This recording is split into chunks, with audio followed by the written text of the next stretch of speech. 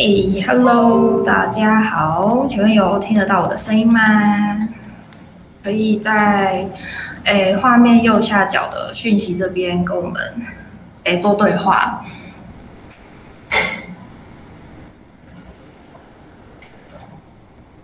我可以听到。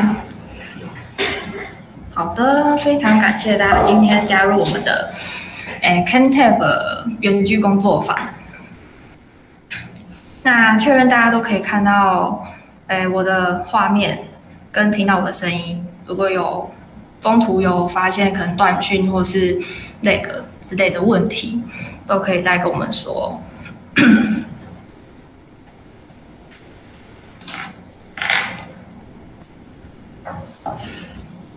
好，那我们就准备开始今天的工作坊。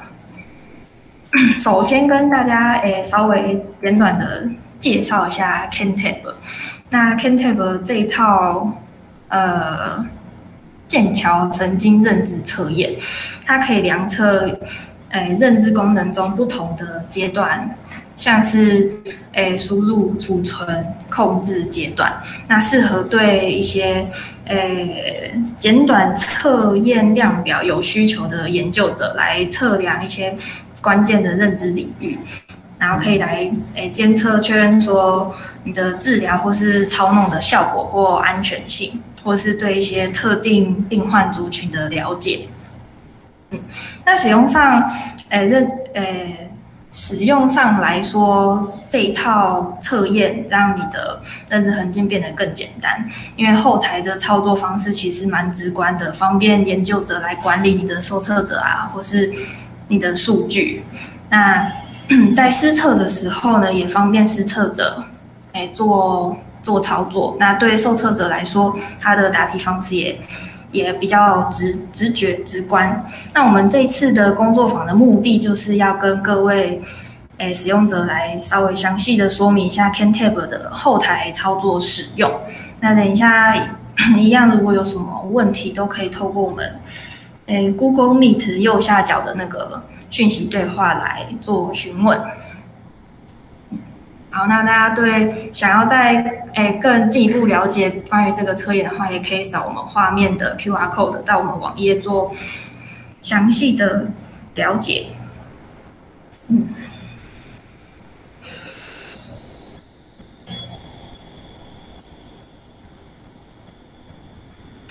好，那这边也跟各位推广一下我们的社群平台，可以扫画面上的 QR code 加入我们的 Facebook 或 Line at，了诶接收更多的资讯。那也可以加，也可以 follow 我们的 YouTube 频道。之诶之后我们这一次工作坊也会再上传到 YouTube，供各位使用者去做后续的复习。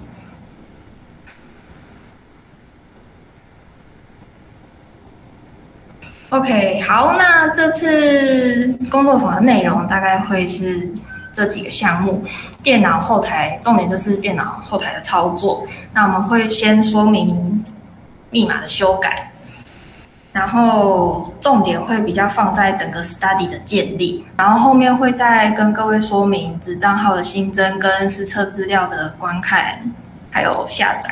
那重点都会是在电脑上做相关的操作。好，那诶这边，因为我们 CanTab 它的电脑后台操作呢，都是直可以直接透过浏览器做所有的操作。那客户端这边我们会用的是这个 app 打 CanTab.com 斜线 admin。那各位使用者，诶是我们的。哎，是我们 CanTab 的使用者的话，应该可也可以直接用，哎，这这一串网址进到你的后台。嗯，那因为我们是哎代理商，所以进的那个网址会不一样。嗯，所以大家先不用紧张，看看到网址不一样不用紧张。大家如果说现在有操作的话，就是直接提供我们一开始教学、教或教学提供的网址登录就可以了。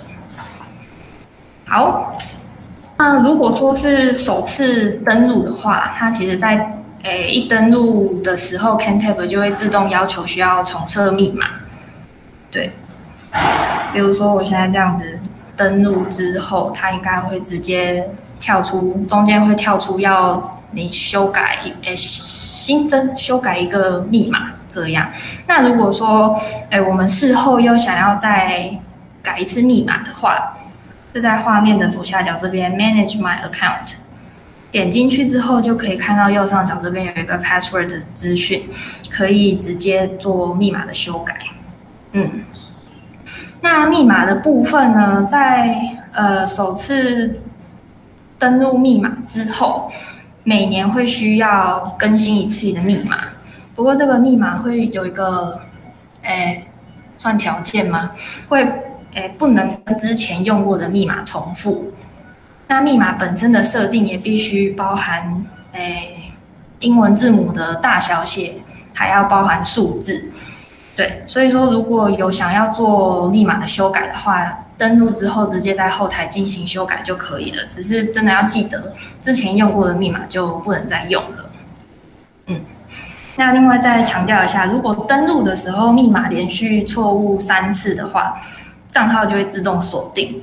那如果 使用者这边需要解锁的话，就需要通知我们跟原厂申请解除锁定账号，再重新设定一次你的密码。好，那我们接下来就 回到诶登录画面。嗯。画面中会看到一些诶资讯，那因为我们是诶代理商，会有这一类的东西。那一进来的时候，各位使用者登录之后，应该会看到类似这样的画面啊，上面会有一些关于你的，嗯，你叫什么？关于你购买的 CanTap 的相关资讯，比如说诶你的。诶，那叫什么组织类型？你使用 CanTab 的诶目的是诶学术性的，然后然后我我印象中应该是诶使用者这边会有一个剩余失测次数之类的会显示在诶可能这附近，对，然后这边有一个 Total Studies 的数量，就表示说可能你前面已经建立过几几个 study，它就会列表在下面这样。那我们今天用的示范项目是这个 Test 零零一。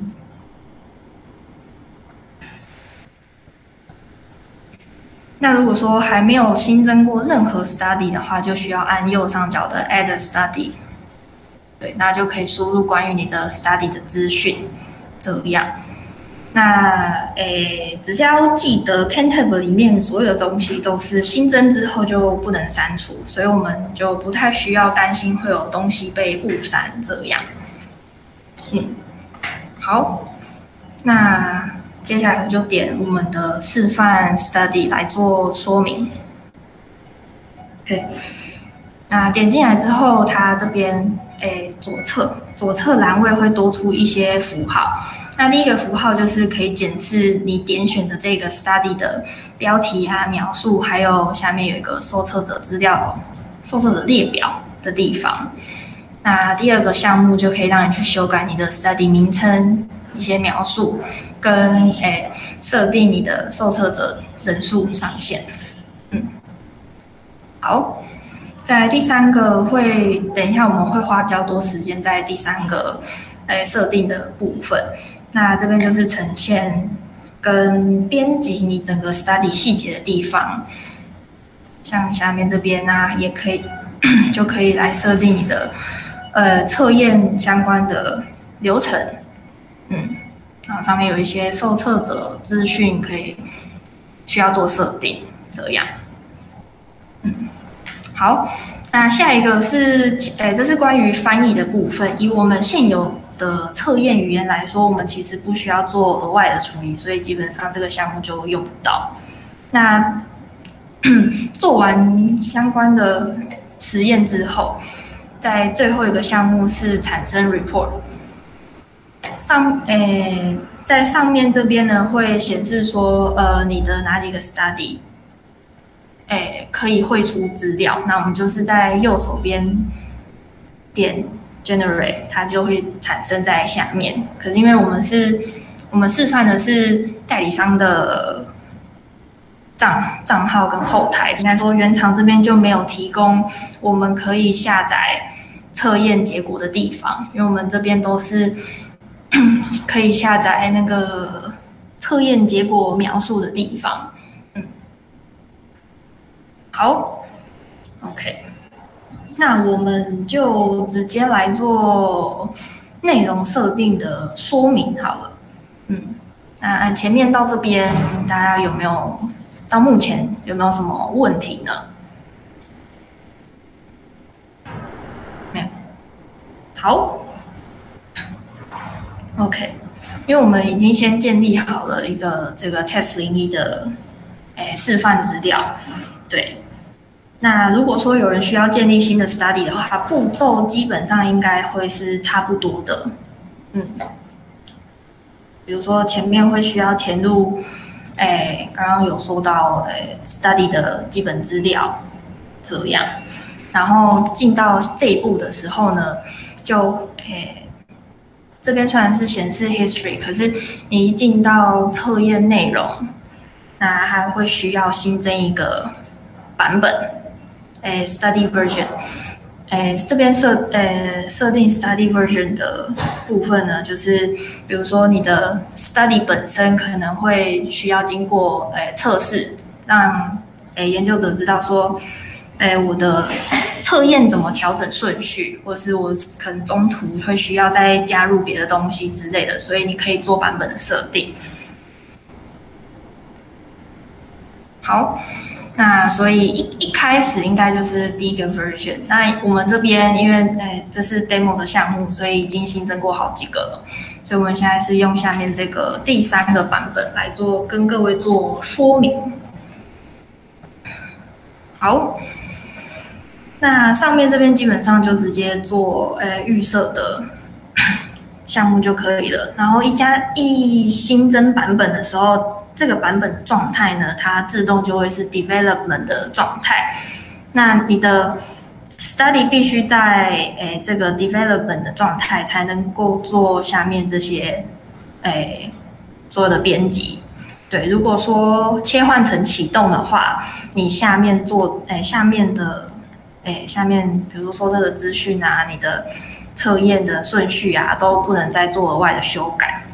嗯，所以要启动之前要先留意这件事情。嗯，好，OK。那首先呢，我们要来设定这个 subject ID，就是受测者的编号。嗯，那 label 的话，就是诶，有点像是 用平板施测的时候会可以用的一个词汇啊，就是新诶。对，它就是受测者 ID 的意思。然后 prefix 的话，诶，软软体，诶，CanTab 的设定是无或 subject ID。那我们通常是直接用后面的这个 format 来做额外的设定。在定义的部分呢，诶，我们假设这个研究是以人数为编码方式的话，那就看我们研究需要的受测者人数有多少。那我们先假设可能会有一百个人来参加实验，那我们受测者编号的规则，我这边就是设定呃零九九。那零的意思表示当数字未满三个，比如说现在设定是要收百人的受测者，所以需要三个，那叫什么？三个位数。对，前面这个零呢，表示当数字未满三个位数的时候会补充的。位置，对，比如说我在输入受新增受测者编号的时候是输入零一，那它就会自动新增一个零在前面，让这个受测者编号变成零零一这样。那后面的九九呢，就是诶必须输入的位置，这样，对，比如说呃是第九个受测者，那我输入的数字就必须是零九。而不是单纯只有九，嗯，这样，大家这个意思应该有有懂吧？对，它这只是一个格式的设定，它不是它不是意思不是说，哎，我设零九九，我就到时候就只能设定，哎，到时候填入的时候就一定要一定要填零九九，对，它只是一个格式的设定而已。好，那下面会需要呃做研究，通常都会收一些。诶，受测的基本资料。那在 Cantab 上预设的会是语言、跟生日，还有性别，还有教育程度。嗯，这这些呃上面 这些会是预设的项目。嗯，那语言的话，是因为 Cantab 它本来就提供多国语言的使用，所以诶研究者这边必须要先选择需要的语言项目。嗯。那一般来说，在像我们在台湾使用的话，除了英文之外，通常应该会使用的就是，诶，中文嘛。对，那我们这边的预设选择的项目是英文。嗯，对。那再跟各位提醒一下，Cantab 的中文测验是陆续在更新的，所以如果有要用。哎，语言有要选择，我看一下，中文台湾地区这边中文的话，就可以先到我们网页上查询，确认目前有的中文测验项目是哪些，或是当初在购买的时候，我们也会跟客户这边做说明，说现现在目前有的中文测验项目有哪些这样，嗯。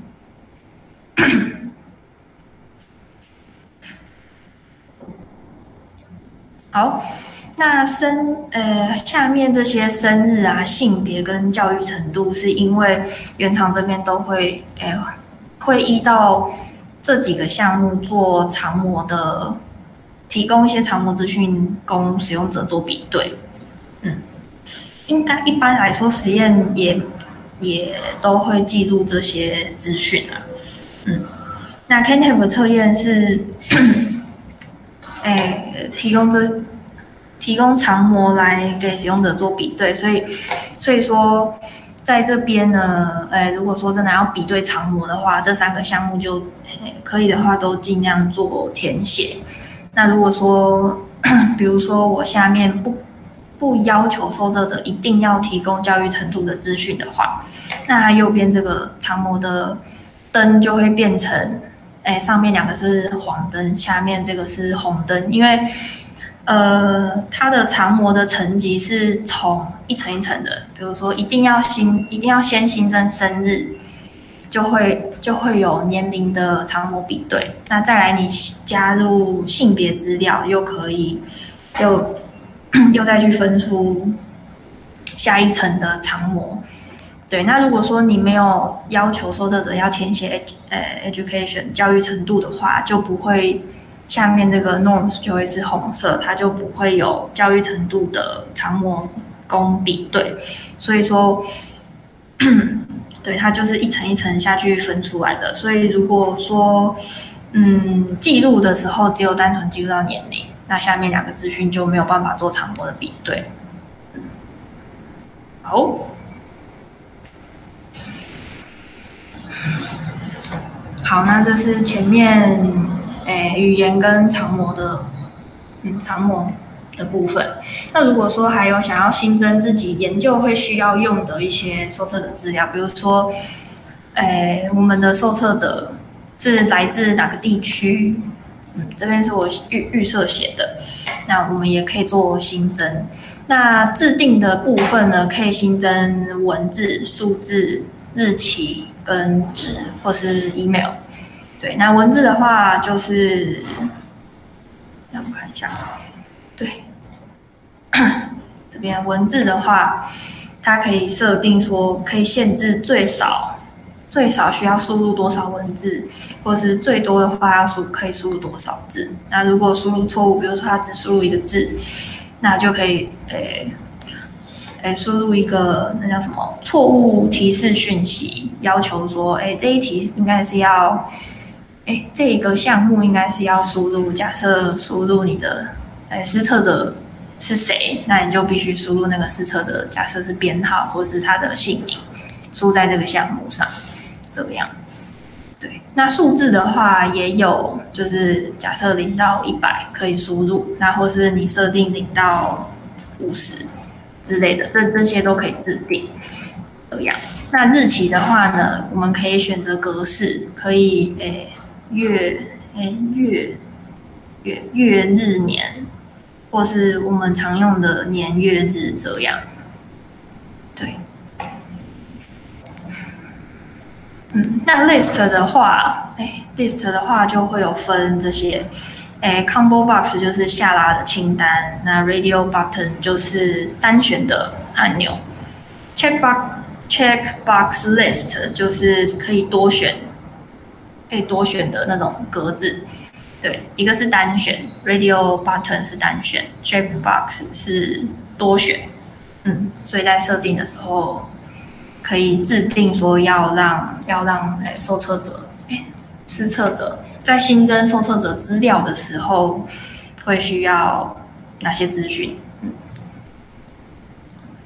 好。OK，好，那目前到这边有没有什么问题？对，受测者的资料新增的部分，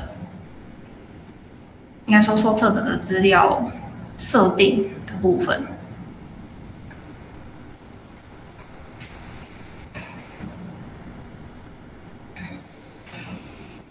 好，OK，那接下来跟各位说明。一个稍稍微复比较繁琐的部分，因为前面受测者跟诶 study 基本资料建立之后，接下来要安排的就是实验顺序的部分。那这个部分呢，就需要额外跟大家说明一下，诶，这个 CanTab 的逻辑，因为 CanTab 它也算诶在实实验研究建立的时候，它是。诶，也是算是一层一层的往下编辑。对，拿一个，拿这个测验阶层，叫测验阶层嘛，反正就是 study 的阶层的概念跟大家说明。哎，CanTab 它建立的建立新增的东西，会是我们刚刚建立的一个新的 study 嘛？那比如说某某研究计划，或是某某实验这样。那它还下一个。哎，阶层呢是 visit schedule。那这个项目我们可以嗯称它为有点类似组别或是类别的意思。比如说，我们研究会分实验组、控制组或是 A 组、B 组之类的。那各个组别间可能呃不会重复实测受测者这样。那 visit 下一层的话就是 visit ID，假设是不同时期或阶段要求受测者来做做测量，对，那这个部分呢就会是那个我们的使用次数计算到的地方，对，比如说实验者，哎，实验组会分前测跟后测，那就是一个人会测到两次测验，两次。你来接受两次的实测，这样。那下面的 test 呢，就是不同的测验项目。比如说，在前测的时候会测量四个项目，在后测的时候测量到五个项目。可是那个次数的计算就不是依照你测了几个项目来算，而是前面这个 basic ID 前测这样算一次，后测这样算一次，这样。嗯。所以我们要必须先确定说自己的研究会不会需要做到诶分组啊，或是受测者会是否会需要接受到前测或后测。嗯，那如果说你的整个实验呢没有分实验组或对照组，也没有分额外的组别，那受测者也只会来一次，那一次可能就测了。诶，五六个测验项目，那其实就会只会有，假设是左边这一整条下来，你就不会去额外分到组别，也不会额外去分到不同的时期或阶段做测验，这样。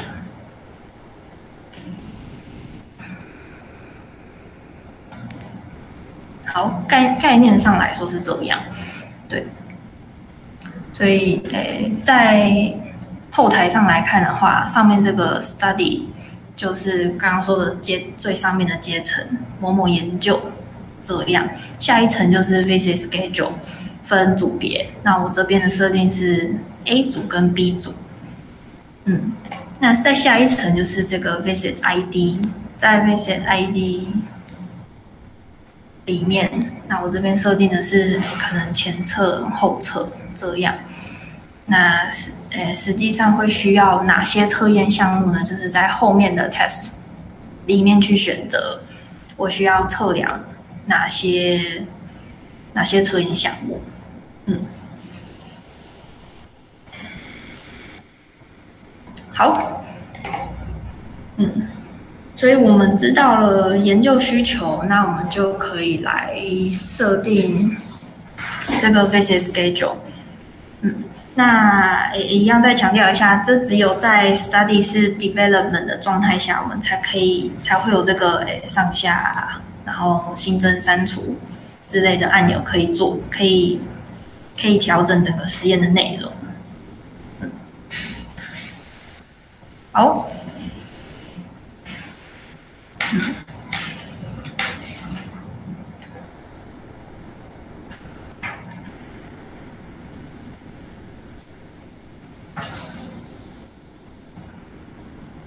好，那我们这边先假设 visit schedule 的部分是会需要分组别的，那我们这边就是。可以先把它删掉。这边前面已经有了一个诶 A 组，那新再新增一个，它就会下面再出现一个框框。那我们就可以输入 A 组资讯。对，那我们现在设定 A 组的部分。那 A 组的话，我这边会需要它做前侧跟后侧。对，那这边对，像 B 组，诶，像诶 B 组的画面没有。没有刚刚右边的 visit ID，那我们就是按新增这样。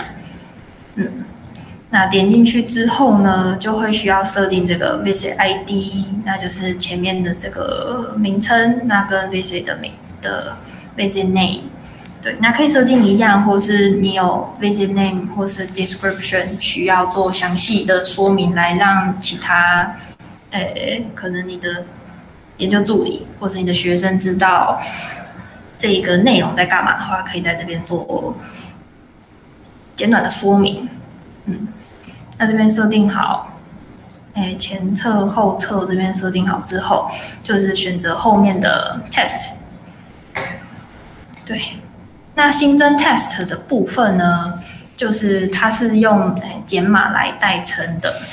对，那我们这边是用哎哎。哎，随随便挑几个项目来做示范。嗯，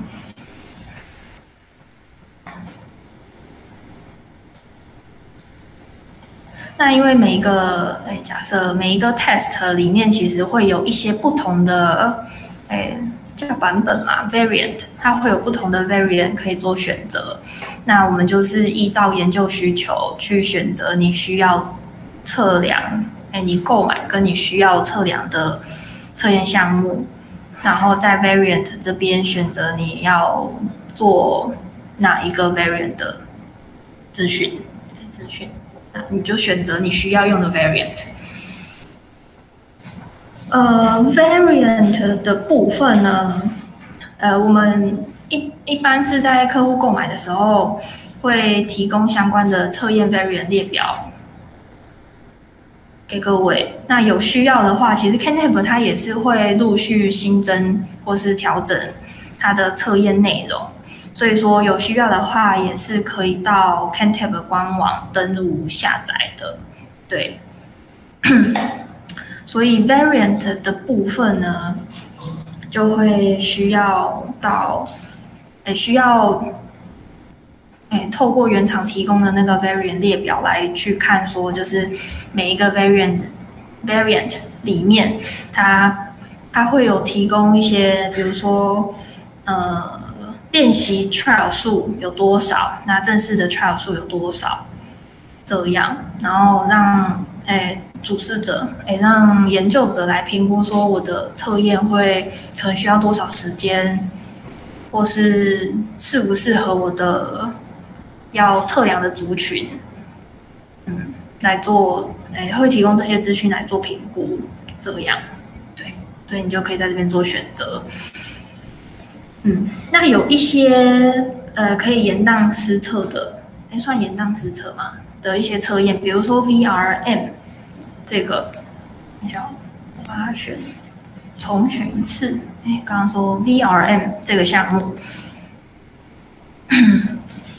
先随便选一个 VRM 这个项目呢，它会呃前面做了做完之后，它会间隔大概二十分钟，让你再再做一次。嗯，像这样的测验的话，嗯，这种间隔我们其实可以在这两个项目的中间加入其他的测验。嗯，这样。诶，以 V R M 来说的话，它是间隔二十分钟，所以说在这中间的二十分钟，你可以呃像这样调，诶像这样按上下键调整，在两个 V R M 中间再放别的测验，所以你的这个中间的二十分钟就不会让收车者在那边空等，或是说这个二十分钟呢，就是诶可能研究上会有其他额外要。诶，量测或是要做额外的事情的话，也可以在这二十分钟进行。对，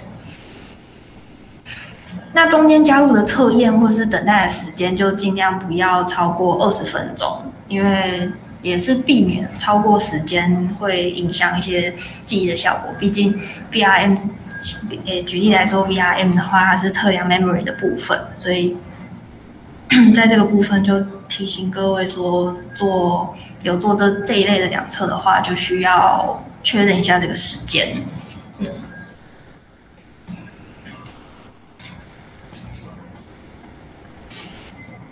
嗯，好，然后，诶，上面这些这些按钮啊，看一下，我们选择之后可以做复制。比如说，我前后测要做的测验项目是一模一样的，顺序也需要一模一样，所以我们在新增这个 VC ID 的时候，后测的 VC ID 的时候，我们可以不用再自己去一个一个慢慢新增，哎，你要实测的项目，你可以直接选择你前测设定好的，按一下复制的按钮，它就会有这个 copy 的。这个，哎，我们前面选择的这个，按下复制按钮，下面就直接出现这个 pre-test copy。对，那我们可以在手动修改，把它改成可能 post test 之类的名称。对，那这样我们就会，哎，就比较轻松方便，可以直接复制你需要的东西，你就不用再重复做一样的事情。对，嗯，那这是前呃这个 copy 的部分。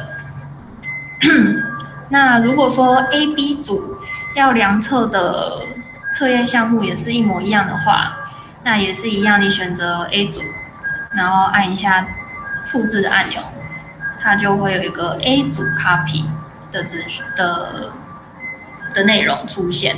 那你点 A、B 组的时候，右边你会发现右边一模一样，对，它就是直接把这个 visit schedule 的内容直接 copy 到你刚刚按的复制，嗯，复制了一整组 A 组的资料，对，那像我刚刚有按一个 B 组，那右边就没有任何东西，所以使用上来说，就是我们可以很方便的去做这一类的复制的动作。那如果说 复制之外，可能内容需要做一些调整，比如说位置的调整，或是你测验诶 A、B 组要做的测验项目不一样，或是数量不同，那也可以做额外的新增或是删除的动作。嗯，那在这边做删除的话，它一定会。再跳出一个通知说：“哎，你确定你要把它移除吗？”这样，嗯，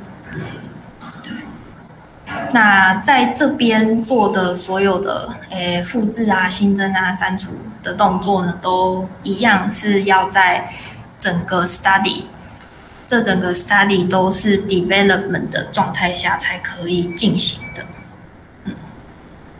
对，我们回到上面这边，study version information 这边 status 必须是 development 的状态下才可以做相关的相关的编辑。只要你按下 activate，呃，active，而且 active 的话。下面的所有东西都不能再编辑，也不能再回到 development 的状态，就只能实测这样。对，那呃，只要你的 study 都在 develop development 的状态下的话，你透过平板登录，你想要实测的话，就也是不行，因为整个实验都还在 develop 的状态，所以 为了避免说可能诶研究研究者。或老师是派学生啊助理出去收收实验，那怕说会有可能诶把错诶把还在建制中的 研究或测验直接拿给受测者做，那可能就浪费了一笔资料。为了避免这一类的情况发生，所以研究者这边必须先按下 Active。那在平板试测的时候，我们才会有这个可以用诶才会有。active 的 study 可以做实测，这样，对，好，那 OK，我先假设，嗯，设定是这样，把 B 组删掉，那我们有 A 跟 A copy 组，然后让按我这边就示范按一下启动，OK。启动之后要按存档，那就 item six must be entered subject data item six。哦，这个一二三四五六，对，只要你的你要存档之前有一些必须输入的栏位没有输入过的话。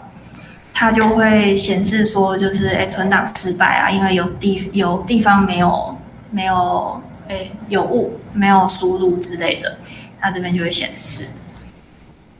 嗯，好，我这边先输入一个 OK，然后储存，这样子，OK，这样子上面这个 history。这个 ver 呃，假设前面可能有好几个 version，或是现在是第一个 version 的话，它在 status 的状态就会是 active，这样。对，那你看我们选择了 active 之后，它就没有，它就不能回到 development 的状态，它就只能选择 inactive。然后其他的资讯都是有点像是返回，你是不能做选择的，你只能。哎，透过旁边的箭头点开做观看，确认说，哎，我前面设定的，哎，内容是什么？嗯，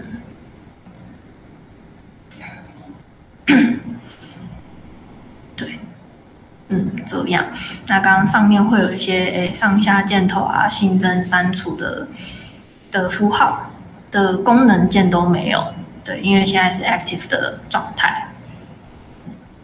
那如果说可能我们诶做那叫什么，拍了研究，然后发现说，哎，我有一些测验项目可能需要做调整啊，或是说有发现一些测验其实，诶以你的受测者群来说，诶不需要量测，或是你的研究有调整，或是你是做一个新的研究。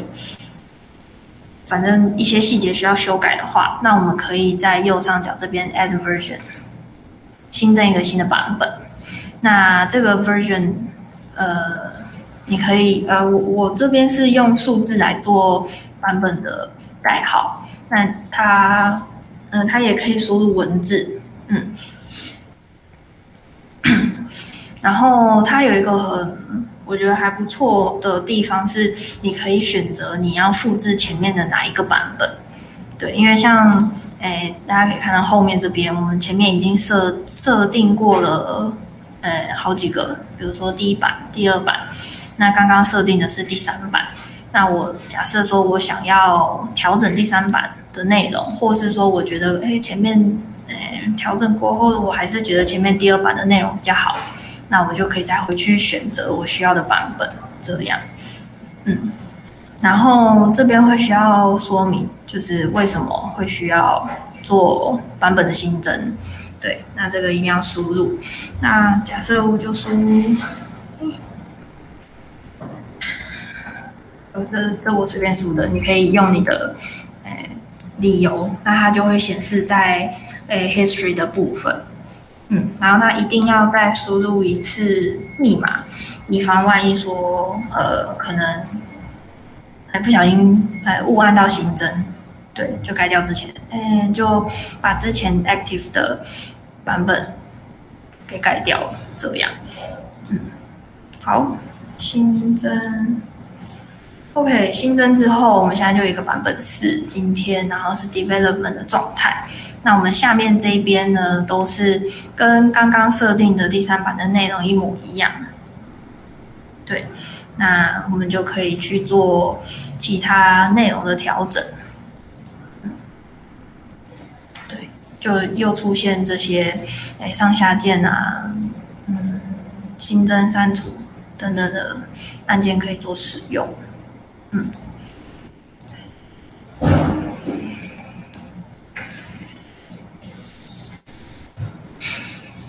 ，OK，好，那这边是呃整个 study 建立的部分。那目前以目前来说，大家呃有没有什么问题呢？比如说哪边没听清楚，想要再再听一次，或是你诶之前在建立测验有遇遇到一些问题的话，都可以现在跟我们跟我们询问。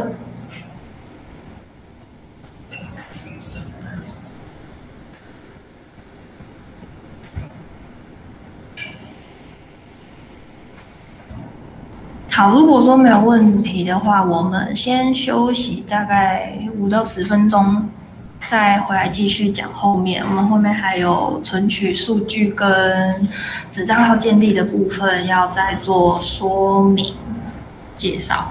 对，好，那我们先休息一下。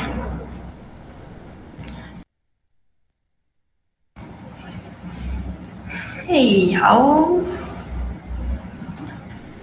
这样各位听得到我的声音吗？大家都回来了吗？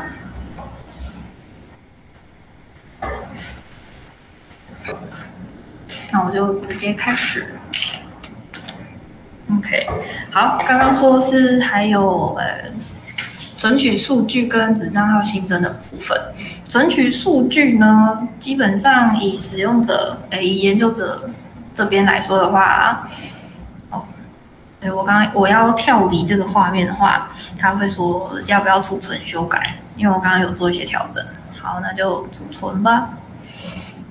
OK，那这边诶，刚刚说存取数据，以研究者这边来说，我们应应该一般都会想要把整个研究诶，整个实验的数据一次汇出，那我们再到其他东西上面做分析嘛？对，那所以这边就可以直接点这个 reporting。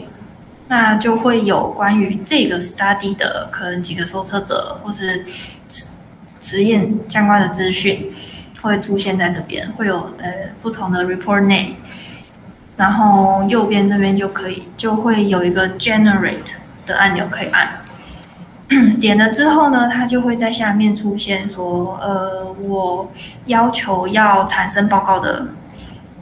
嗯，日期时间是什么时候？比如说今天十点十三分，那我要嗯载这个报告。那它的状态呢？哎，刚刚 它还在产生这个报告的时候，它会显 pending，还在处理中。那等到它变成 available 的时候，我们就可以按下载。下载之后要再输一次账号密码。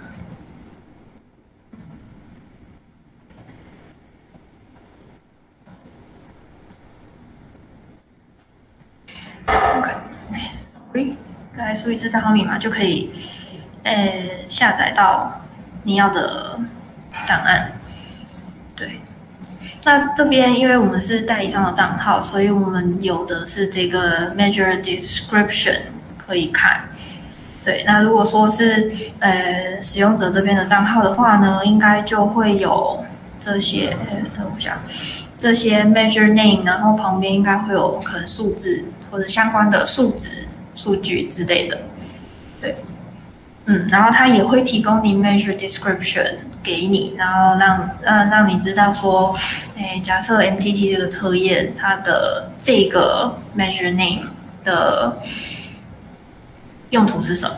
哎，它的应该说，比如假设是什么平均数、标准差，或是反应时间等等资讯，它就会哎说明在 measure description 这边。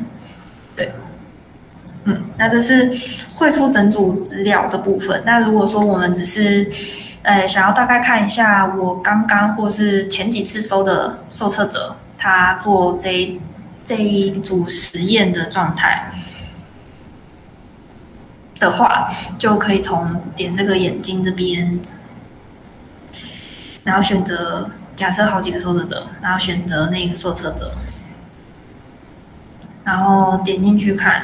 我先随便点一个，点进去看，那就会有这个受诶这个受测者做的这个 task。然后是什么时间做的？然后几分结束？然后是否有做完？如果没有做完的话，应该会是 abort 之类的咨询。我们等一下找一个来看。那有完成的话，它旁边就会有一个 measures，那一个数字，就会有这个 measure name、measure description 跟 value 之类的，可以做。可以初步的观看，说就是这个受测者做这个 IED error，然后数值是多少之类的。对，那要把这些资料汇出的话，就是这边也可以点，或是回到整个 study 去做一样刚刚的那个 generate 在下载的步骤。嗯，好，我挑一个。看看有没有有有一个像，比如说这个是诶，收车者做的这个，那可是他在中途就跳出了，那 outcome 就会写 abort，所以就不会有任何的 measures 可以做绘出的动作或是观看，对，因为他这个测验没有做完，我们没办法做任何的分析，嗯，大家这边会显示 abort，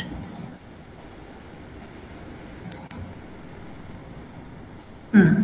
好，那后台的数据观看差不多是这样。那如果说在平板上的话，嗯，操作上来说也是类似这个，诶，眼睛点选，然后再观看 measure 的步骤，蛮类似的。嗯，好，所以数据的存取差不多是这样。OK。好，最后就跟大家说明一下，呃，子账号建立的部分，因为我们做实验也会需要可能帮手或是助理啊，学生，对，那这时候帮施测人员建立一个施测用的账号就很方便，通常会，呃，通常会把新增啊，或是编辑 study 的权限保留给主账号，就是各位研究者。那所以我们可以再额外建立一个助理，专门施测，或者是助理给专门给助理用来做额外操作的，嗯，账号给他使用。嗯，那我这边就用 PPT 来说明一下，对，因为我的权限也不太够，所以我就用 PPT 跟大家呈现，呃，子账号的新增。对，那在主账号底下呢，应该会有一个，对啊，这个挡住了。在主账号里面，我们刚刚只有一个 organization 可以看嘛？一个，我们刚刚只有 organization 可以看，因为我刚刚用的是子账号。那主要的账号下面应该会有个 user user search。对，然后应该会有个新增 user 之类的按钮可以选择。嗯，在主账号底下呢，我们是可以建立好几个子账号的。假设我们有很多人力、很多平板，可以派很多人出去做实测，建立子账号的话，就对诶研究者来说其实还蛮方便的。嗯，那建立子账号的话呢？这边会需要输入诶名字、姓名的部分，那这是一定要输入的值。嗯，就看要用这个账号的人是谁，那就给他一个名字。那 email 的部分呢，其实是不需要真正的 email，因为只会这个 email 的部分就只是用来登录 Cantab 做使用而已，所以其实你只要让它长得像 email 就好了。比如说我们刚刚登录的是呃 test 零一 at。kyst.com.tw，这就是呃我们公司用的子账号，这样。嗯，那如果说，哎，大家可能比较常用 Gmail 之类的，那你的 email 也可以自己随意设定一个，比如说叫 Julia at gmail.com，这样，只要让这个 email 的项目长得像 email 就好了。那 password 的部分呢，也是依照 Cantab 的原则去编编密码。那也是要，诶，子账号的首次登录，就我们这边设定完之后，给给学生或给助理去做首次登录的时候，他也是需要做一次重设密码的，而且每过一年也会被要求说要重设密码。对，所以在子账号使用上来说，跟主账号，呃，密码设定是，嗯，是差不多的原则，嗯。也是之前用过的密码，也不能再重复用啊之类的。然后 organization 应该只会有一个做选择，对，像代理商就是选择代理商的名称，嗯之类的。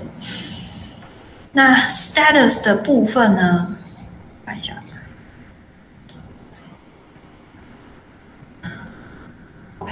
这边就是我刚刚说的，哎，名称给他一个设定，然后 email 的部分，比如说 test at gmail.com，那这是一个假的 email，你当然不可能用这个 test 登录 gmail，只是这只是用来登录 Cantab 而已。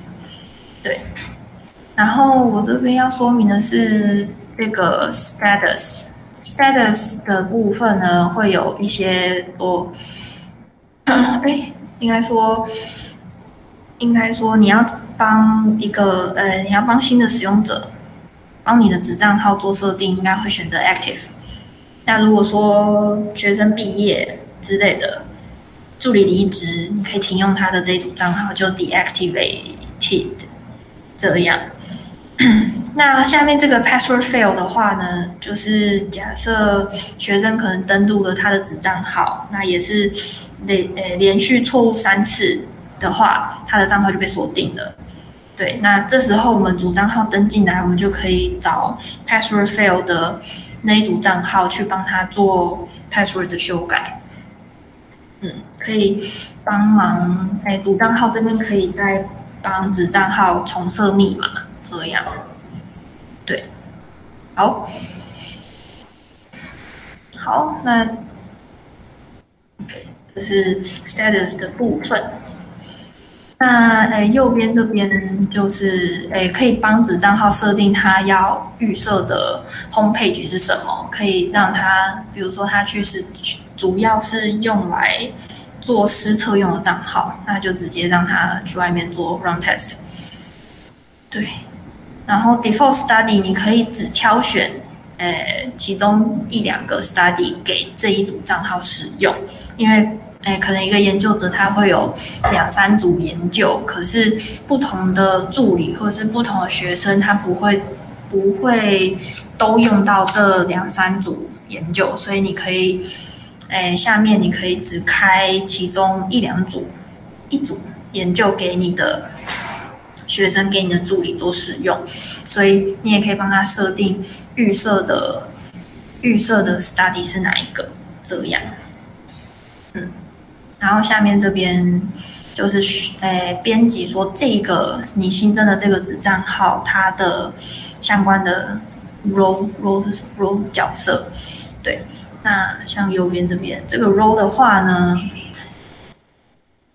然后 role 的话呢，可以诶可以选很多个，它有三个选项：user creator 就是可以建立子账号，跟 tester 就是出去实测的权限。对，那 study creator 它就是可以建立新的 study 做相关的编辑。如果说呃，如果呃，如果说，诶，研究者这边可能是跟学生呃合作，或是带学生做做诶，可能毕业论文之类的，那你可以开放 tester tester 跟 study creator 的权限给学生，那直接让学生自己去设定说他的研他的研究会需要诶做哪些内容的调整。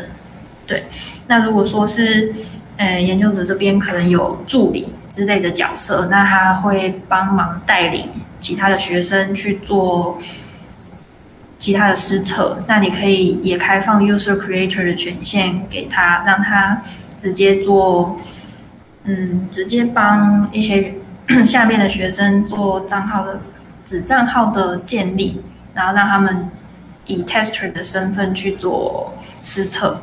这样，对。那如果说只是那一组账号就只是拿来做实测的话，我们就直接开 tester 的权限给他就可以了。对，嗯，好，那子账号建立的部分差不多是这样。对，好，那以刚刚说的呃数据。数据那叫什么？呃，数据观看跟子账号建立的部分，大家有没有什么问题呢？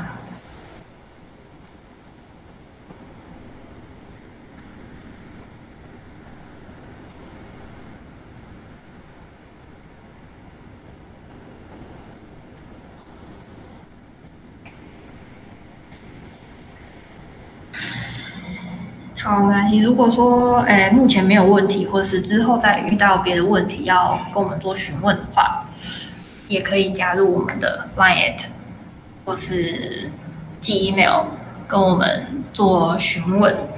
对，那我们这边也再推广一次我们的社群平台，可以加入我们的 Facebook 粉丝专业，可以得到相关的工作坊啊，或是活动相关的资讯。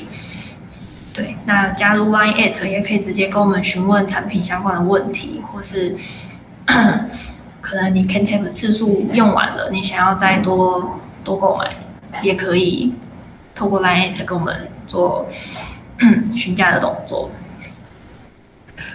那之后我们诶工作坊也会诶上传到 YouTube，所以也可以发到我们的 YouTube 账号，得到。工作坊相关的影片，对，那我们其之前也有其他的工作坊影片在我们的 YouTube 频道上，有兴趣的话也可以去做观看。嗯，那我们所有的产品资讯跟产品相关的知识都会也会新一并新增在我们的 YouTube 频道。那更多产品相关的诶新知啊、文章啊、应用或是操作方面。的资讯也都会在我们网页的应用应用文章的部分可以做参考跟观看。嗯，好，那非常感谢大家今天的参与，那我们的工作坊就到这边提前结束。那会后如果还有任何的问题的话，都可以直接加入 Line at 跟我们询问哦。感谢大家。